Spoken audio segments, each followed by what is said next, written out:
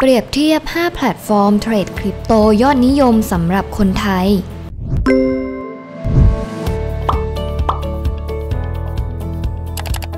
การลงทุนนอกเหนือจากรูปแบบการซื้อสินทรัพย์ในชีวิตจริง ลงทุนหุ้น ลงทุนในกองทุน รวมถึงการนำเงินไปต่อเงินในด้านต่างๆ ก็เป็นเรื่องปกติของเมื่อก่อน แต่ปัจจุบันช่วง 2 ปีที่ผ่านมาคริปโตเคอเรนซีเริ่มเข้ามามีบทบาทมากขึ้นเรื่อยๆ และหลายแพลตฟอร์มผู้ให้บริการเทรดด้านคริปโตเคอเรนซีก็มีอัตราการเติบโตมากขึ้นเรื่อยๆ และมีคนสนใจเข้าสู่ตลาดอยู่ทุกวัน ซึ่งในคลิปนี้เราจะมาเปรียบเทียบ 5 แพลตฟอร์มยอดนิยมในการเทรดคริปโตเคอเรนซีของคนไทยเรา m a n y f r a m e กรอบรูปสินค้าออนไลน์ มีให้เลือกมากกว่า 500 แบบด้วยกัน เฉลี่ยเพียงกรอบละ 80 สตางค์เท่านั้น ใช้ได้ทั้งการขายของออนไลน์ และ s h อ p e e หรือ Lazada สร้างความโดดเด่นให้กับสินค้าของคุณ และเพิ่มยอดขายให้ได้มากขึ้น ดูรายละเอียดเพิ่มเติมและรับโปรโมชั่นพิเศษวันนี้ได้ที่ www.manyframe.com ำเตือน คลิปนี้เราไม่ได้มีการสนับสนุน ยุยง ส่งเสริมให้ลงทุนแต่อย่างใด เป็นเพียงแค่ข้อมูลสำหรับการตัดสินใจ ให้กับคนที่สนใจลงทุนเท่านั้น ผู้ลงทุนควรศึกษาข้อมูลก่อนการลงทุนทุกครั้ง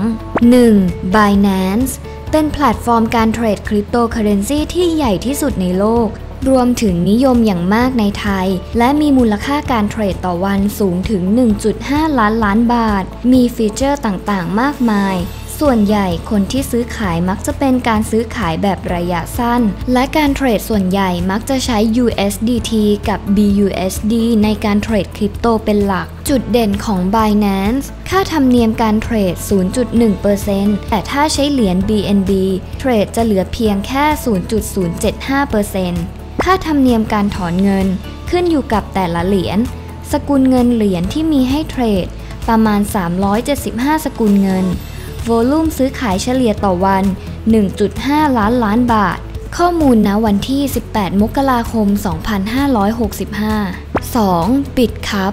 อีกหนึ่งแพลตฟอร์มยอดนิยมของคนไทยสำหรับคนที่ไม่ได้อยาก เทรดในแพลตฟอร์มของต่างประเทศ Bitkub ก็เป็นอีกหนึ่งช่องทางที่คนไทยหลายคนเลือกจะมาเทรดบนนี้ ปัจจุบันได้กลายเป็นส่วนหนึ่งของเครือบริษัท SCBX เป็นที่เรียบร้อยแล้ว และยังมีการประชาสัมพันธ์เกี่ยวกับวิธีการลงทุน แนะนำ ให้ข้อมูลต่างๆ รวมถึงความรู้ที่มากมายเกี่ยวกับคริปโตเคอเรนซีให้เข้าใจแบบง่ายๆอีกด้วย ส่วน volume ที่ซื้อขายต่อวันอยู่ที่ประมาณ 3,000 ล้านบาทถือว่าเยอะเป็นอันดับหนึ่งของแพลตฟอร์มที่ก่อตั้งโดยคนไทยเลย จุดเด่นของ Bitkub ค่าธรรมเนียมการเทรด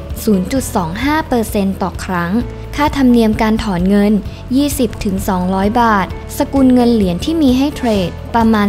375 สกุลเงิน และโวลุ่มซื้อขายเฉลี่ยต่อวัน 3.5 พันล้านบาท ข้อมูลณวันที่ 18 มกราคม 2565 3. stang.pro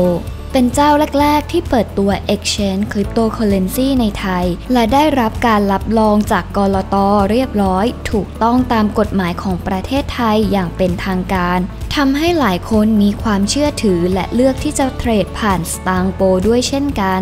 นอกจากนี้ยังมีฟีเจอร์ที่หลากหลายและถูกใจใครหลายคนมากที่สุด คือ Multiple Network ช่วยให้เราโอนเหรียญคริปโตของเราไปยังกระดานอื่นๆ ทั้งในไทยและต่างประเทศได้ง่ายขึ้น มีราคาค่าธรรมเนียมถูกและรวดเร็วขึ้น จุดเด่นของ Stang Pro ค่าธรรมเนียมการเทรด 0.2% ค่าธรรมเนียมการถอนเงิน 18 บาท สกุลเงินเหรียญที่มีให้เทรดประมาณ 40 สกุลเงิน โวลุ่มซื้อขายเฉลี่ยต่อวัน 39.94 ล้านบาท ข้อมูลณวันที่ 18 มกราคม 2565 และ 4. b i t t a s a หนึ่งในแพลตฟอร์มยอดนิยมการเทรดสำหรับคนไทย และได้รับรองจากกรตเช่นเดียวกับ Stang Pro ซึ่งบิ t ทาซาเปรียบเสมือนนายหน้าที่ทำหน้าที่ส่งออเดอร์ ไปให้กับ Exchange ต่างๆ ทั่วโลก แบบสะดวกง่ายดาย โดยที่ลูกค้าไม่ต้องเปิดบัญชีกับหลายเจ้า เพื่อเทรดเหรียญจากทั่วโลกได้ทันที ข้อดีของบิ t ทาซาค่าธรรมเนียมการเทรด 0.25%ค่าธรรมเนียมการถอนเงิน 20 บาท สกุลเงินที่มีให้เทรด ประมาณ 50 สกุลเงิน และโวลุ่มซื้อขายเฉลี่ยต่อวัน 39.94 ล้านบาท ข้อมูลณวันที่ 18 มกราคม 2565 สุดท้าย 5. ZipMex คือผู้ให้บริการเทรดคริปโตเคอเรนซีในประเทศไทย และประเทศอื่น ๆ รวมทั้งสิ้น 4 ประเทศ มีความปลอดภัยสูง และมีการทำประกันภัยหากโดนโจรกรรมในรูปแบบต่างๆ นอกจากการซื้อขายตามปกติเหมือนแพลตฟอร์มทั่วไปแล้ว ยังมีผลตอบแทนจากการใช้บริการด้านต่างๆ อีก อาทิเช่น Zip Up ที่ให้ผลตอบแทนรายวันได้สูงสุดถึง 10.5%ต่อปี เป็นการฝากสินทรัพย์ไว้กับ ZipMax และยังมีระบบอื่นๆ อีกมากมายให้กับผู้ใช้งานได้ใช้ ข้อดีของ ZipMax ค่าธรรมเนียมการเทรด 0.2%ค่าธรรมเนียมการถอนเงิน 20 บาท สกุลเงินเหรียญที่มีให้เทรดประมาณ 60 สกุลเงิน และโวลุ่มซื้อขายเฉลี่ยต่อวัน 829 ล้านบาท ข้อมูลณวันที่ 18 มกราคม 2565 จากการที่กระแสเรื่องคริปโตเคอเรนซีกำลังมาแรงทำให้หลายคนเริ่มมีความสนใจมากขึ้นเรื่อยๆ อยู่ทุกวัน และอาจจะกำลังมองหาแพลตฟอร์ม ที่ตรงกับความต้องการของตัวเอง และในแต่ละแพลตฟอร์มก็จะมีลูกเล่นและฟีเจอร์แตกต่างกันไป นอกเหนือจากการซื้อขาย อาจจะมีการฝากสินทรัพย์ และรับผลตอบแทนได้อีกด้วย หากสนใจอันไหนสามารถเข้าไปดูรายละเอียด หรือลองชมข้อมูลในแต่ละแพลตฟอร์มได้ได้เลยแอดขอแจ้งให้ทราบอีกครั้งว่าในคลิปนี้ไม่ได้มีการส่งเสริมให้เล่นแต่อย่างใด เป็นเพียงแค่ข้อมูลสำหรับประกอบเป็นความรู้ให้กับผู้ชมเท่านั้น หากต้องการลงทุนอย่าลืมศึกษาความเสี่ยงก่อนการลงทุนด้วยทุกครั้ง อย่าลืมกดไลค์ กดแชร์ กด Subscribe และกดกระดิ่ง เพื่อที่จะไม่พลาดคลิปใหม่ ๆ ต่อไปด้วยนะคะ